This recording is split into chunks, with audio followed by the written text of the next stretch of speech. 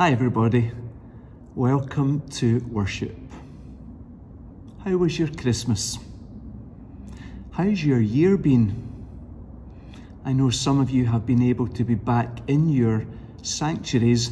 Others of you have not stepped inside a church for the better part of this year.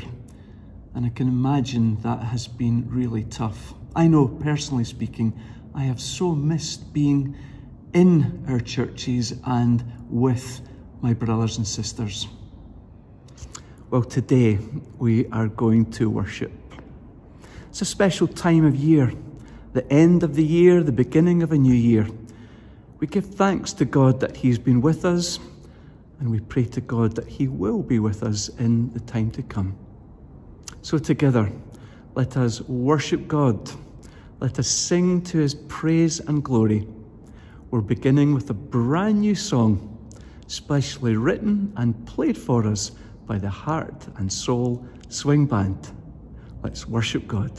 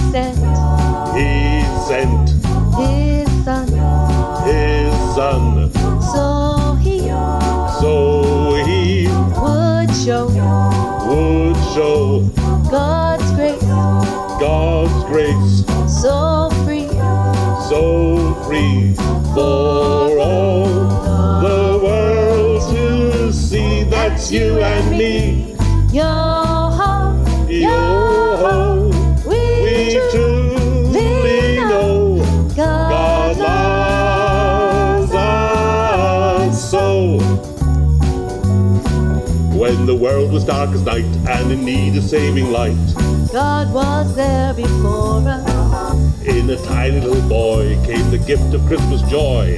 God would soon restore us. Through his love for you and me, it was plain for all to see. God will not ignore us. As we go from A to Z, we're as loved as love can be. He'll, He'll always adore us. Yo ho.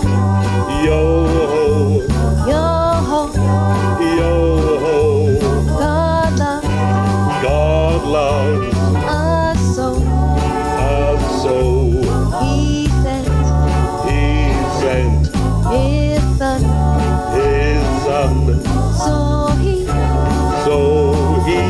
Would show.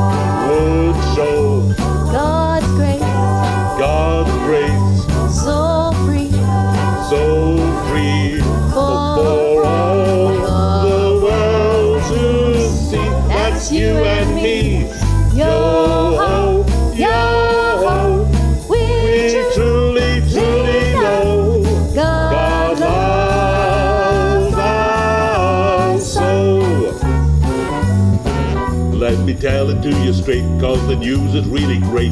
God got there before us. Through a tiny little child, we are fully reconciled. God would soon restore us. When the world was down and out, full of dread and full of doubt. God would not ignore us. Do not fret and do not fear, God is love and love is near. He'll, He'll always adore us.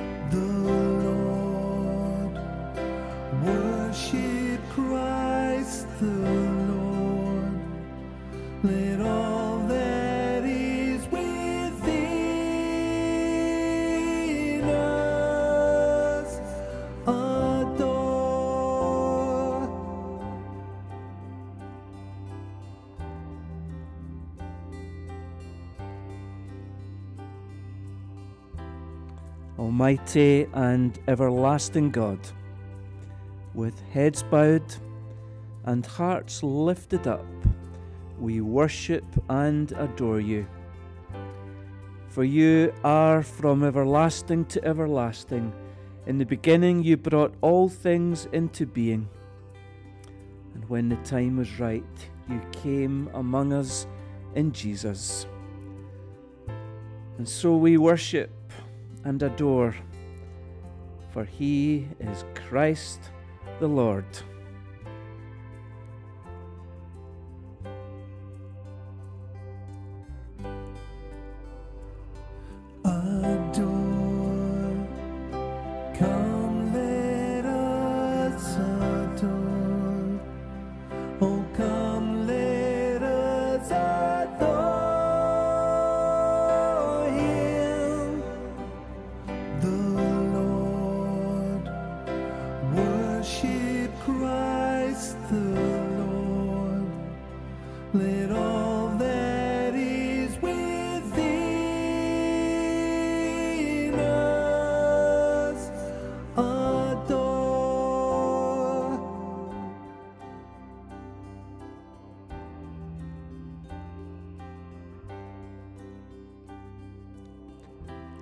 Your love for us is extravagant beyond description and wholly undeserved. We know we have fallen short. We have made for ourselves other gods. We have given our worship in other directions. We have not followed in the footsteps of Jesus as you have invited us to do. And so, for your love, for your amazing love, we thank you, we worship and adore.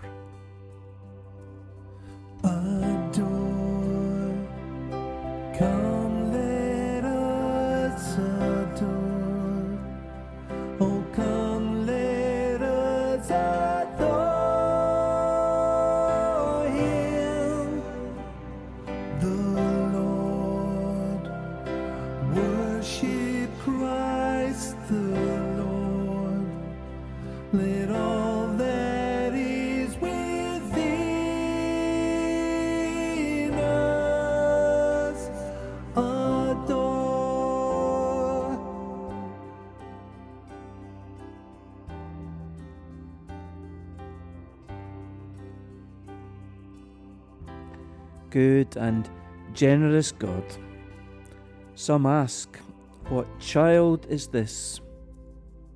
We answer, This is Christ the Lord.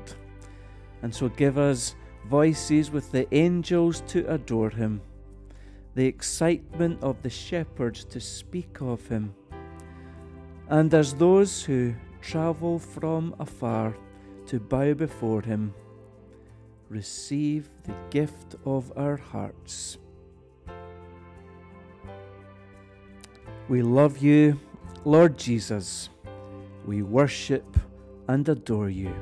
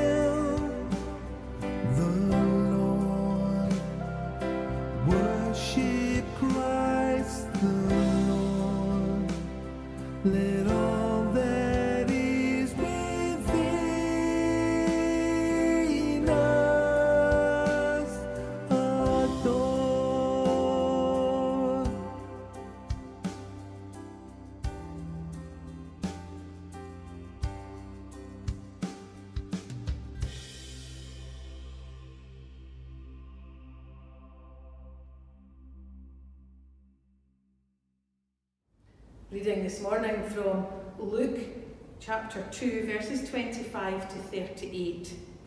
Now there was a man in Jerusalem called Simeon who was righteous and devout.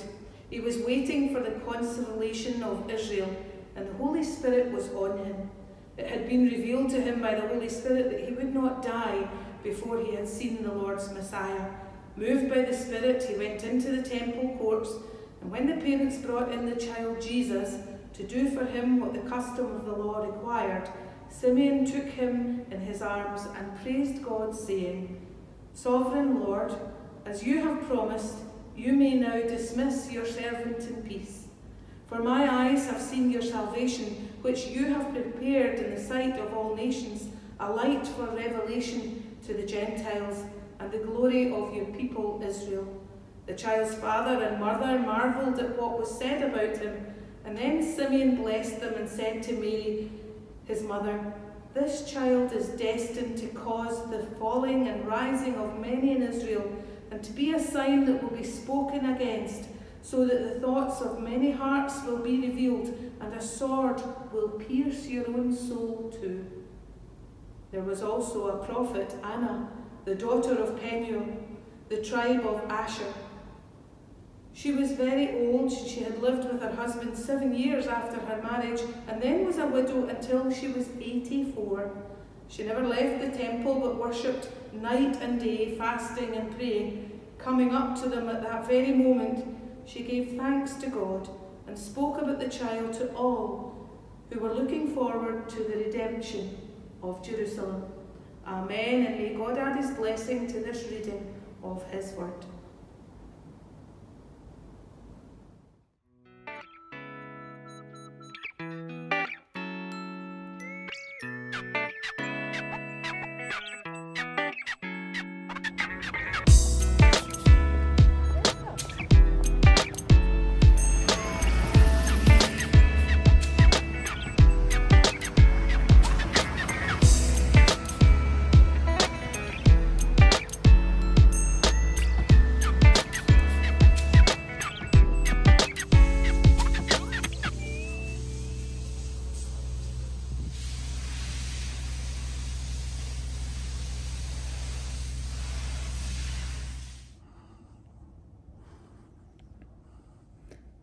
Of the matter is that I know very little about art. I don't come at it with a critical eye. The most I know is that there are different genres, different time periods, some of which I'm drawn to, others less so. But beyond that, my response to art is very much a gut reaction. Certain pictures I like, and others I don't. Simple as that.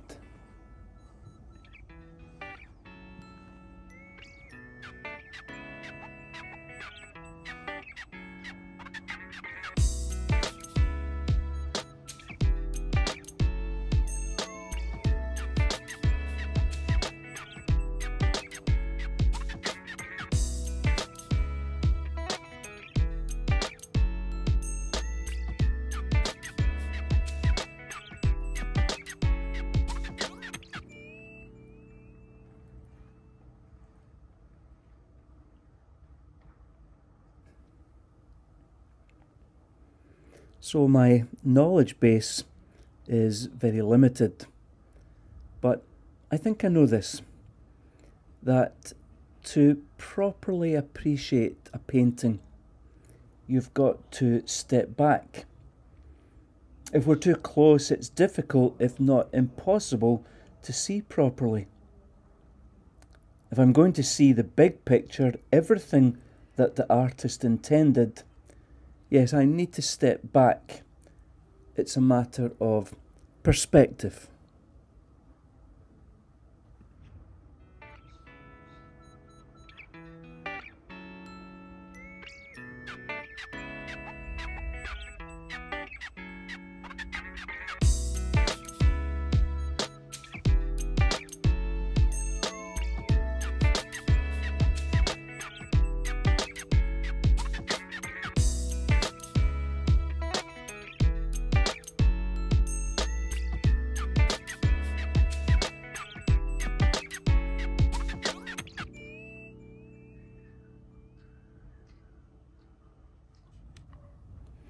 These two pictures illustrate the point perfectly. If you home right in on one particular piece of the painting, you might think it's a painting of a dog. But in fact, the dog is just a small part of something that is much bigger in scale.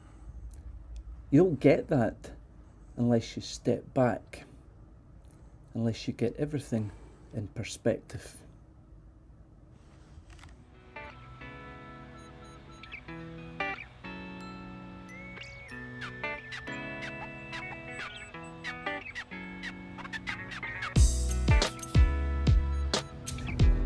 If it's true that we need to step back to fully appreciate a painting, then I'd want to suggest that it's equally true for all of life as we try to see it in its fullness and, if at all possible, make sense of it. And if you really want to begin to ponder the big questions about what's it about and where's God in all of it, then absolutely you need to step back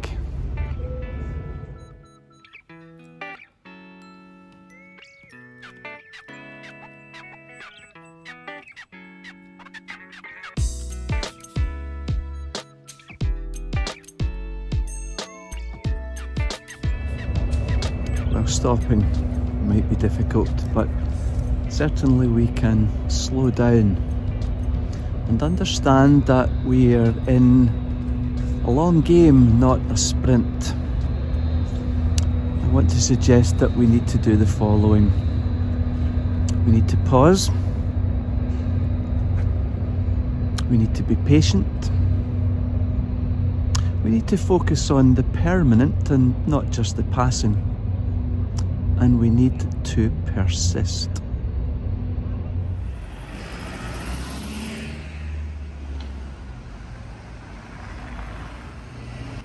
Number one, pause, which can be so difficult when life is lived at such a pace.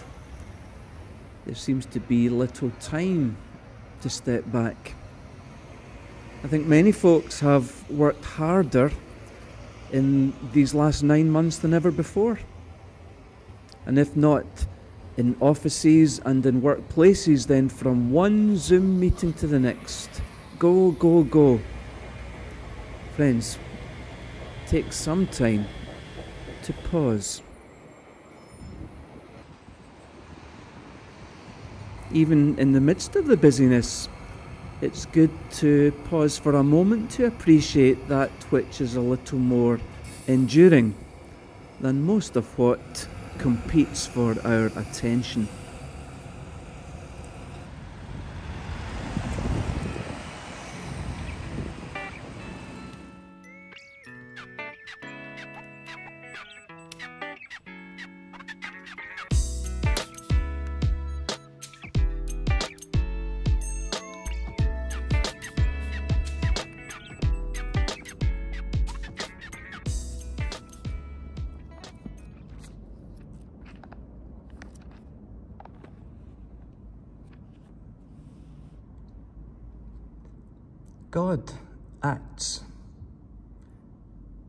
Makes good on every promise. God is completing the big picture. It's just that his timescales are of a different order to ours. That's why we have to be patient. When I phone a business or a call centre, I want someone to pick up right away not to tell me I'm in a queue. When I'm web browsing, I want instant connection. Don't show me the wee arrow going round and round, and don't even start with traffic jams or ScotRail is sorry to inform you that your train is delayed by half an hour. I mean, I've got a life to live, stuff to do, people to see, places to go. You know, I'm in a hurry. Let's get this thing moving.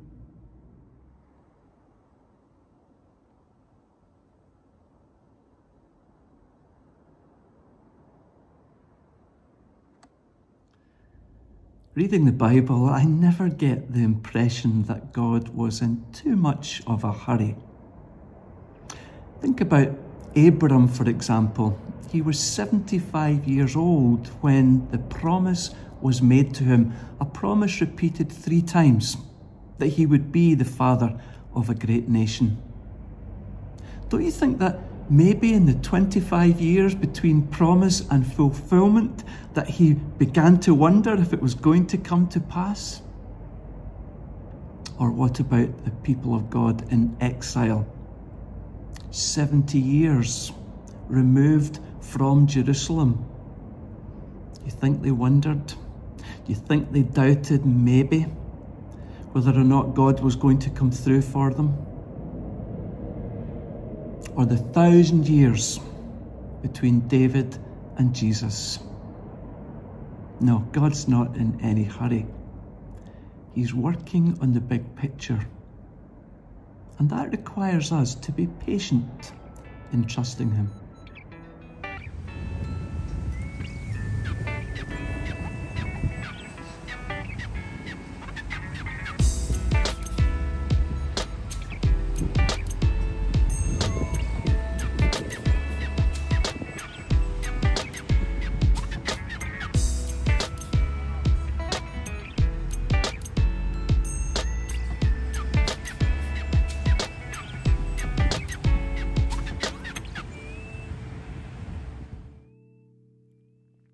So we pause, we be patient, and we remember that that which is permanent is equally as deserving of our attention as that which is passing. Now, of course, this modern day building is much more recent, but there is evidence that there's been Christian worship here for 1300 years. Can you imagine what's happened through all of that time? While people have worshipped on this site, there have been wars, famines, plagues, revolutions, reformations, unions, ups and downs, comings and goings, blessings and curses, sin and salvation, all of life and death. Even today, all of life streams past this holy place. And the backdrop to all of that, the eternal God, who is the same yesterday, today, and forever. We're reminded we blossom and flourish as leaves on the tree, and wither and perish, but not changeth thee. Much passes, but much remains.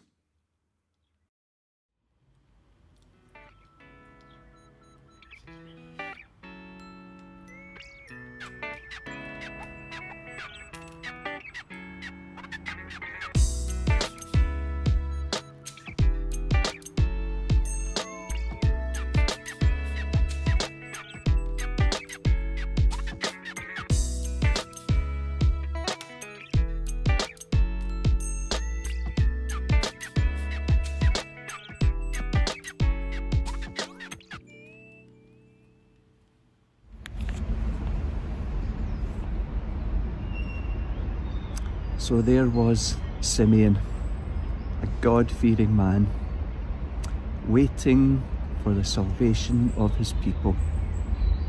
How long he waited, we've no idea, but he never gave up on the promise made to him by the Spirit that he would not die before seeing the Messiah, the coming of the Lord.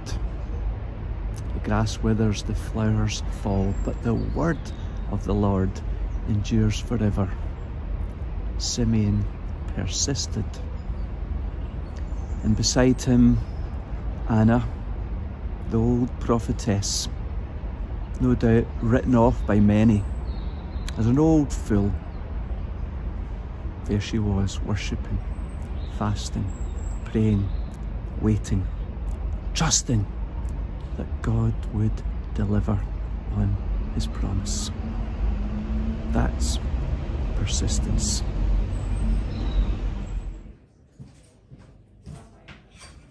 Two apple juice, that's it. Lovely. Thank you. Thank you very much. No worries.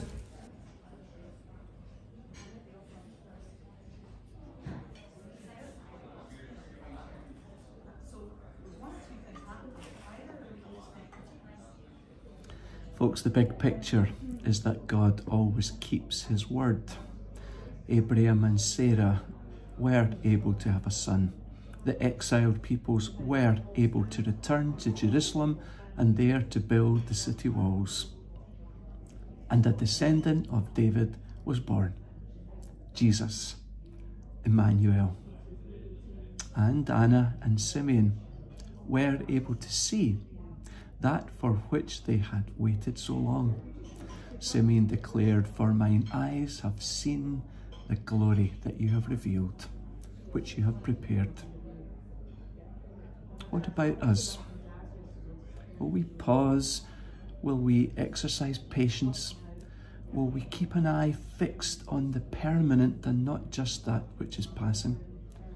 And like Anna and Simeon, will we persist that we might see that God is acting, that God is with us, that the salvation of the Lord is among us, that his kingdom is coming little by little for those who have eyes to see.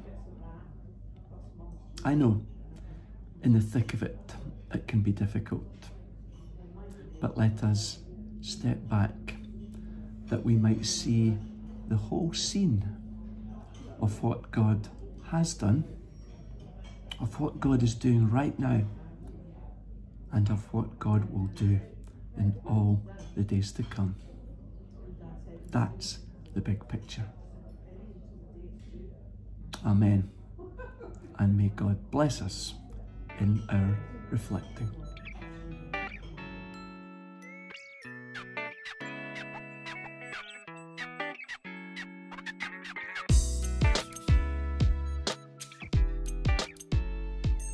And I said to the man who stood at the gate of the year, Give me a light that I may tread safely into the unknown. Let us pray. Lord God, we look back on a year like no other, and we could stay looking back, mourning for the loss of lives, the cancelling of so many events, the separation of family and friends. We could stay complaining about all that was done and undone. But your boundless energy invites us to move forward, taking the energy of your Spirit with us as we step into a new year. Lead us into 2021 with expectation of the work and efficacy of vaccines, of finding you in each month that passes, comforting and strengthening us to bear the losses, exciting and compelling us to serve in your Son's name. Remind us that as we travel into the unknown months in front of us, you will love, guard, and guide us. But if we take our own light into the year ahead, we will end up walking on the wrong paths. Let us take the light in the gospel which belongs to our Saviour Jesus, that we will, instead of our mistakes, build, trust in you as the shining light upon the church, that it may know what to do, what to stand for, and what to become. Show us the opportunities to serve our neighbours in Jesus' name, telling them and our communities about the faithful God that stays beside us in trouble, loss, and loneliness believing that you uh, are inviting us to be a church that builds, befriends, and helps others to believe. And in Jesus' name, we say to the darkness of midwinter, I will put my hand into the hand of God, and that will be a better light and a way for us to trust. Amen.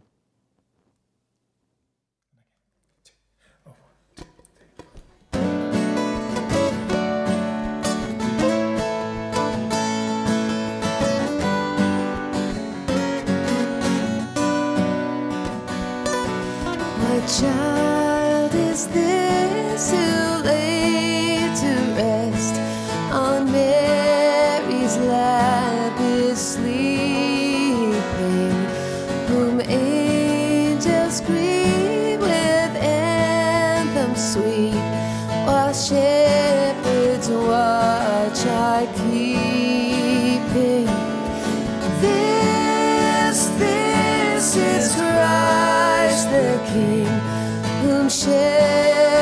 shepherds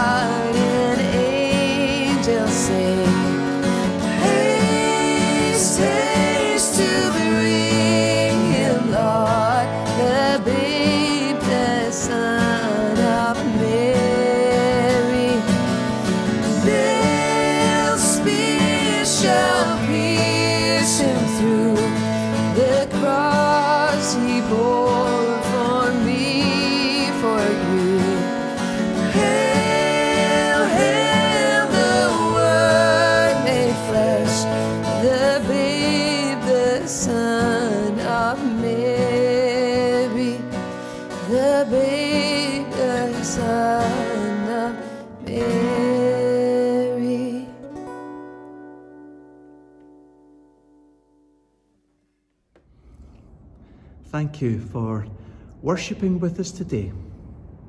And now, may the blessing of God Almighty, Father, Son, and Holy Spirit be with you and remain with you today and forevermore. Amen.